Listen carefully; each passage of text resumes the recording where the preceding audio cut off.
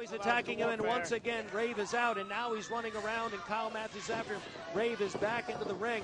Kyle Matthews is stalking him, and he's got a hold of him. Ben, he's finally got a hold of him. The rage in the face of Kyle Matthews. Oh! Oh, wait just a minute! What, What? did Mike Posey do? Kyle Matthews was set and ready.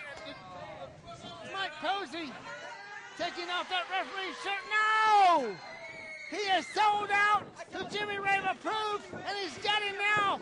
And Rave has him in the Shinumaki, the Cobra clutch, and he's got it And on, and the rest. Jimmy Rave. Chip Day, Corey Hollis. Even Jeremy Vain is Jeremy out, Vain? obviously in a celebration at this point, complimenting Mike Posey. Jer- well, Jeremy Vain that- raising his hand in victory. There's no victory here.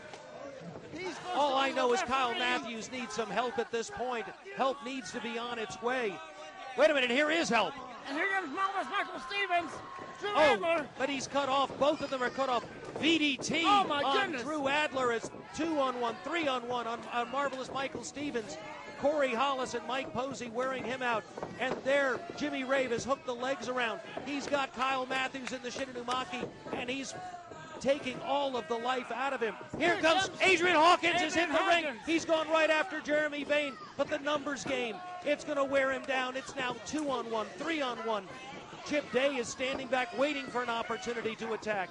Drew Adler still down after the VDT. I don't know where Marvelous Michael Stevens in. He's vanished off to the back. And meanwhile, in the middle of the ring, Jimmy Rave has Kyle Matthews in the Pandemonium. And he's not letting it go.